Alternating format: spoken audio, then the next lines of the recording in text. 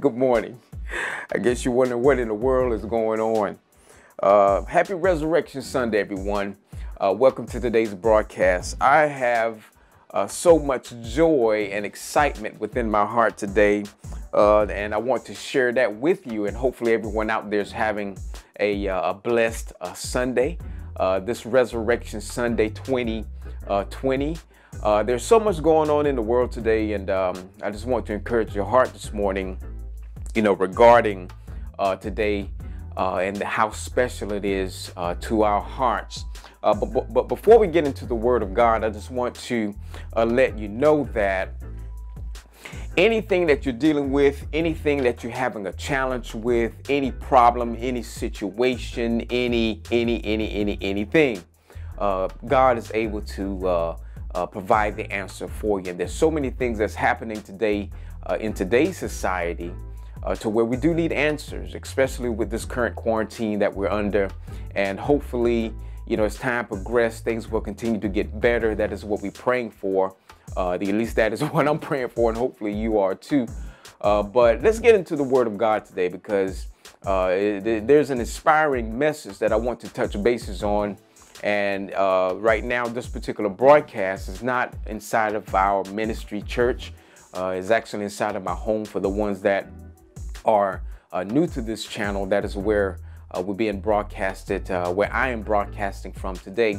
And there's one thing about this particular channel. Not only is it about athletes and or superb student leaders and uh, outstanding colleges and universities and HBCU battle of the bands and dancers and all these different type of things. That's all good in itself. Uh, but the ultimate goal uh, also of this uh, channel is to help inspire your hearts, uh, to help you rise up to the level and uh, to continue in excellence uh, wherever you're living and in your neck of the woods. And that's what this particular channel also is about. It's about inspiration, motivation, education, and all those different type things. But today I want to inspire your heart regarding a message uh, this Resurrection Sunday or Easter Sunday uh, that I want to share with you uh, today. But uh, let's get into the Word of God. Now, when it concerns uh, this particular Sunday, uh, I want to read to you Mark chapter 16 and when the Sabbath was, pa- was passed, Mary Magdalene and Mary, the mother of, G- of James, and Salome or Salome uh, had bought uh, sweet spices that they might come and anoint him. And anoint who? Anoint Jesus Christ because he has just he was just crucified. And very early in the morning, the first day of the week, they came into the sepulchre uh, at the rising of the sun and they said among themselves, Who shall roll away the stone from the door of the sepulchre? Of the sepulchre? And when they looked and saw that the stone was rolled away, for it was very great, and entering into the sepulchre, they saw a young man sitting on the right side, clothed in a long white garment. And they were affrighted, meaning they were afraid.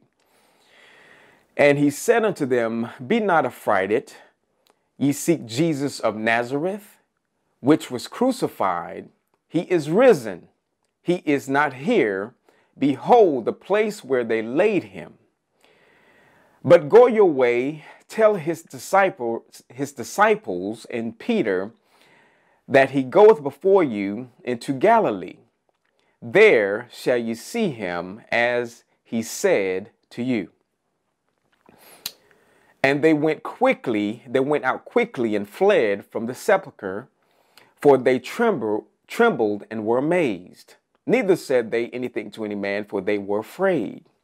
Now, when Jesus was risen early the first day of the week, he appeared unto, first unto Mary Magdalene, out of whom he had cast seven devils. And she sent and told them that had been with him as they mourned and wept. So they were, they were crying. They were having a difficult time uh, that Jesus was crucified. They could not believe it, and they were very, very despondent. The disciples, that is. And they, when they had heard that he was alive and had been seen of her, believed not. We talk about doubting Thomas. Well, this particular crew that day, uh, these disciples, they did not believe uh, what uh, Mary Magdalene was uh, sharing, what they were sharing with him. After that, he had appeared in another form unto two of them as they walked into, the, as they went into the country, and they went and told it unto the residue. Neither believed they them. Afterward, he appeared unto the eleven as they sat at meat and upbraided them with their unbelief and hardness of heart because they believed not them which had seen him after he had risen. And he said unto them, Go ye into all the world and preach the gospel to every creature. He that believeth and is baptized shall be saved, and he that believeth not shall be damned. And these signs shall follow them that believe. In my name shall they cast out devils, and they shall speak with new tongues. They shall take up serpents, and if any if, if and if they drink any deadly thing, it shall not hurt them. They shall lay hands on the sick, and they shall recover. So then, after the Lord had spoken unto them, he was received up into heaven and sat on the right hand of God. Praise God. And they went forth and preached everywhere, the Lord working with them and confirming the word with signs following. Amen. And that is Mark chapter 16, the first verse to the last verse. Now, this is a very powerful uh, scripture uh, and Bible uh, truth uh, that had occurred uh, when Jesus was crucified. Um, the word got out uh, through Mary Magdalene. And, you know, one thing about the message of Jesus Christ is that it's real. And many people out there don't believe that, but there's only one way to heaven, and that is through Jesus Christ. There's no other way. And that may be tight, uh, but it's right. Uh, but it's right in love because that is what God has for you. God has love for you. For God gave his only begotten Son for us, Jesus Christ, to die on Calvary's cross for our sins. And that is why we're enjoying this Resurrection Sunday. But many people out there are not enjoying uh, Sunday because they have lost a loved one due to this particular uh, plague that is uh, uh, uh, uh, that we call dead and done in Jesus' name. The plague that is. But they're not having a, a, wonderful Sunday. They just lost a loved one. Uh, they're in mourning, they're grieving, and we do pray for the ones out there. We do not take it lightly. Our hearts are with you um, when it concerns uh, that particular situation because I personally know uh, what it's like to lose a loved one uh, that is close and dear to the heart. And we are praying for you. We're praying for strength for you, your family, and everyone out there that's having uh, a challenging time this day. Uh, for many people, they're smiling. For many people, they're having, you know, fun with their children. But for others, they're not doing such. They're they're mourning uh, with their family. They're mourning uh, with their children. They're, uh, you know, having a challenging time in the heart because Satan has come in and attacked their family. Uh, but we believe in God. Uh, we believe in God's strength. We believe in Psalm 91 protection continued protection over you and your family. Uh, we're believing that no weapon that is formed against you or your family shall prosper according to God's living word. Uh, for God's word is alive, is quick, is powerful, is sharper than any two edged sword, piercing to the dividing asunder of soul and spirit, joint and marrow, and it is, is a discerner of the thoughts and intents of the heart. God's word, He know God knows our heart. And when the word is abiding on the inside, He helps us uh, through those challenging times. He helps us to pray for individuals out there that are having challenging times. And that is what God desires in this earth for us to take dominion and to have dominion and subdue this earth. Speak those things uh, to be not. Call those things to be not as though they were. We need to speak.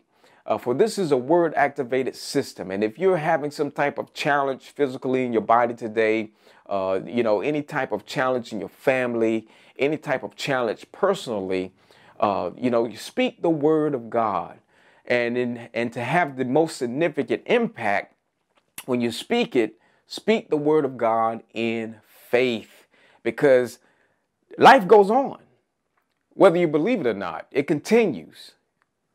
You know, and we want to continue walking in victory, we want to continue walking in success. Uh, we want to continue uh, to have a victorious life. We desire to have a victorious life, at least I do. You know, I can speak for myself. As for me and my house, we will serve the Lord by the grace of God. And we desire victory in everything that you do, everything that we do. Uh, you should desire victory, I should say, in everything that you do.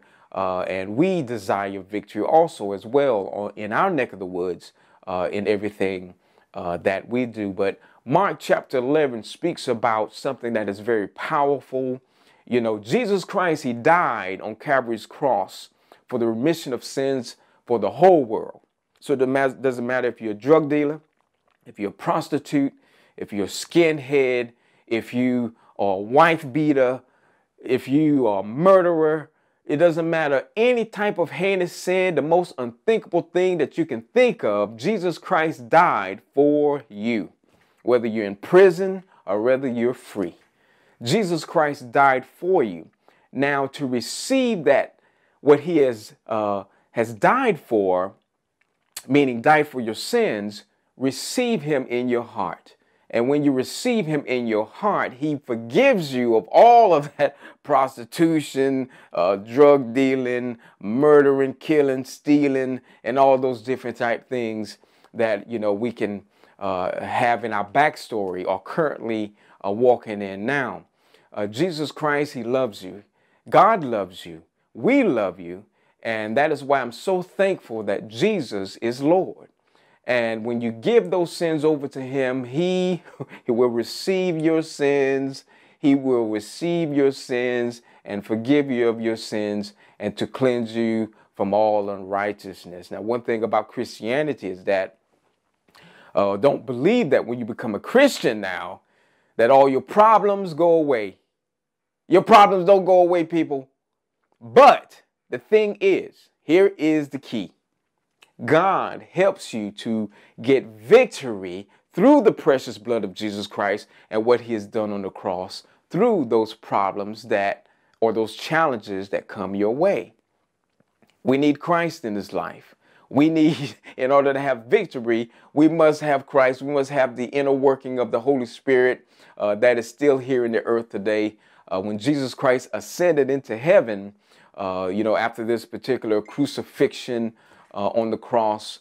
Uh, the Holy Spirit descended here in the earth and is here today, 2020, uh, willing to lead and to guide and to order your steps uh, in the way that you should go.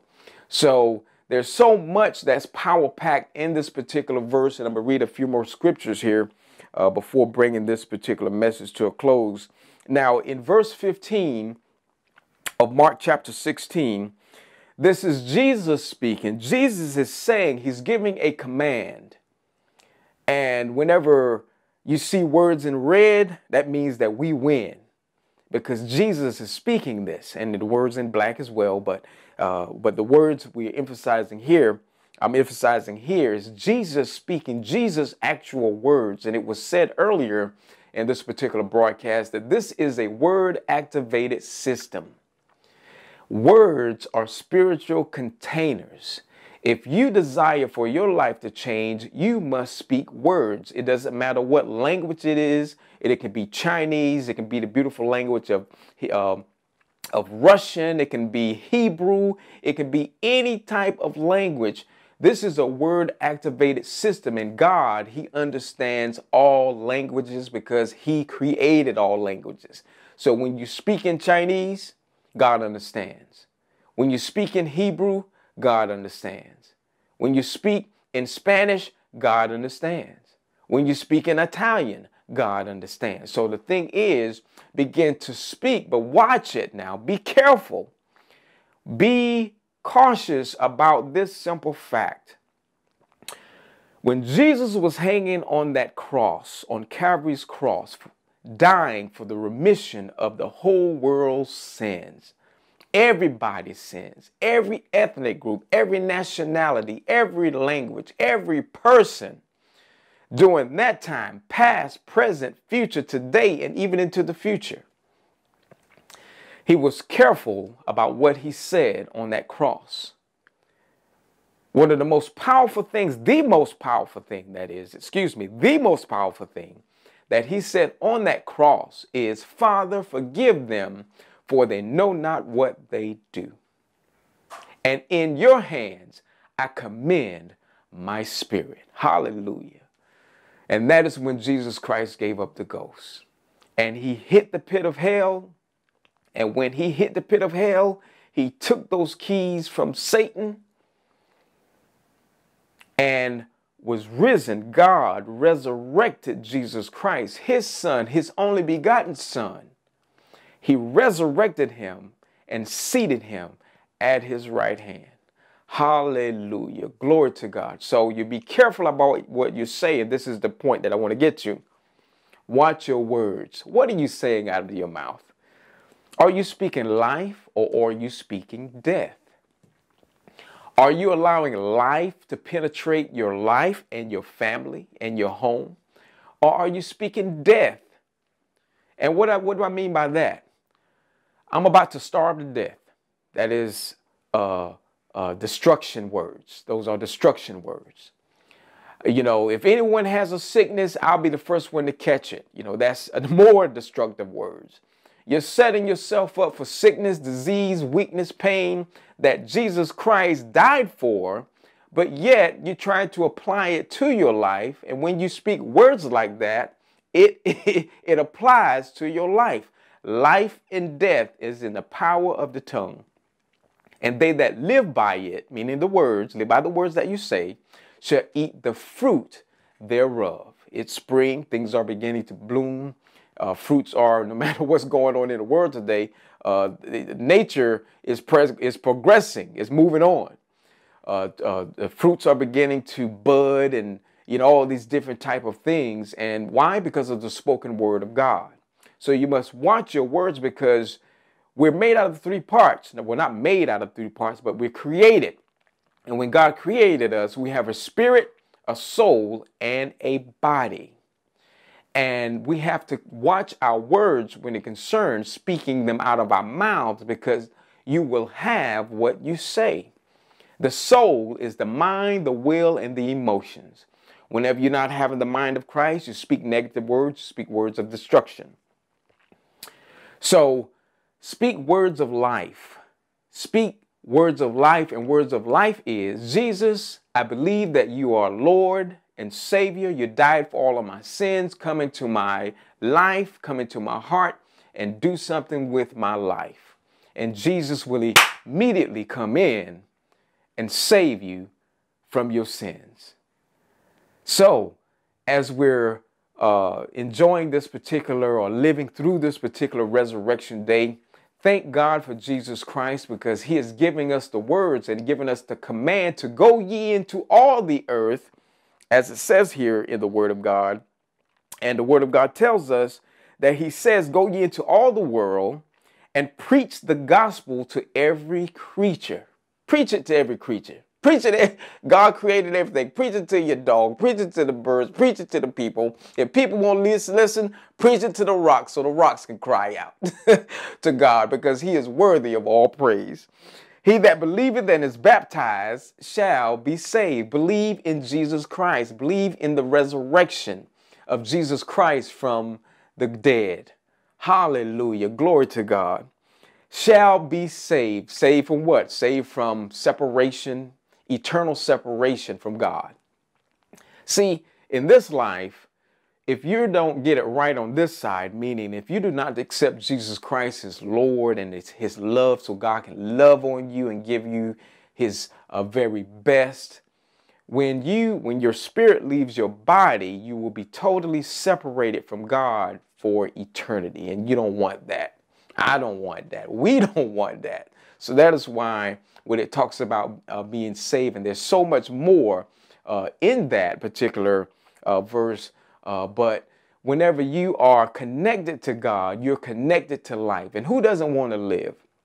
Every single day, we wake up, we uh, you do, many of you out there, you thank God for life, health, and strength.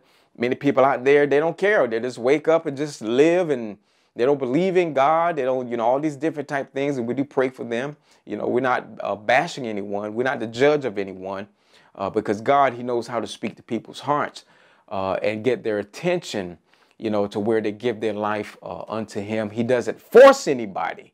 I want to put that out there now. Don't don't think just because I said that mean that God forces Himself. He encroaches upon your will and make you do things because He does not do that. God is a perfect uh, gentleman, uh, but He does, you know, love us and He nudges us, you know. And I thank God for you know getting my attention uh, to give my life over to Him uh, because my life was was never the same after that day I gave and committed my life to Christ.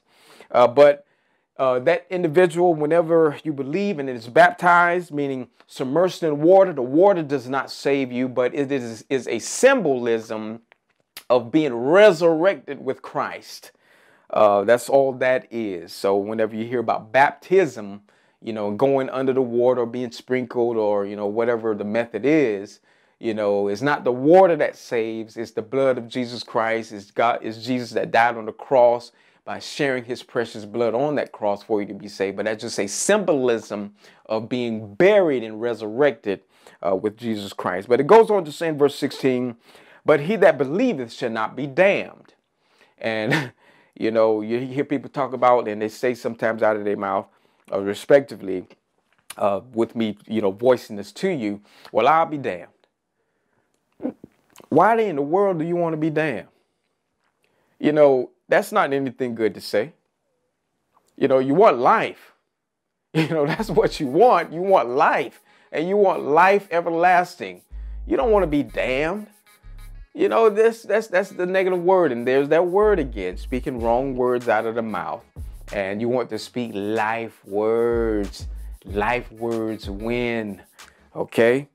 Uh, but it goes on to say, verse 17, and these signs shall follow them that believe in my name, that should, they should cast out devils, and they should speak with new tongues. I don't know if you ever had, uh, you know, um, living in life and seen um, uh, demonic activity. I have, and you know, it's nothing.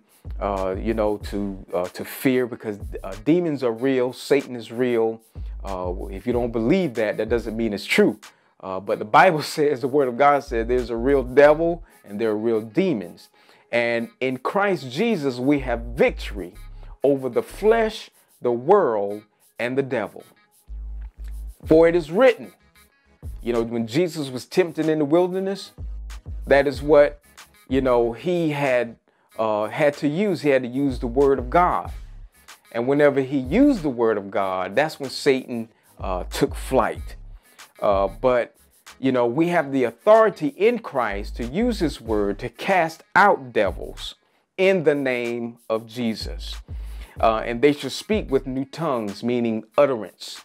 You know, you may not understand what you're saying, but it is a it is a, a language that you're speaking uh, in a new tongue unto God, and that's your spirit speaking, and that is what that is saying here.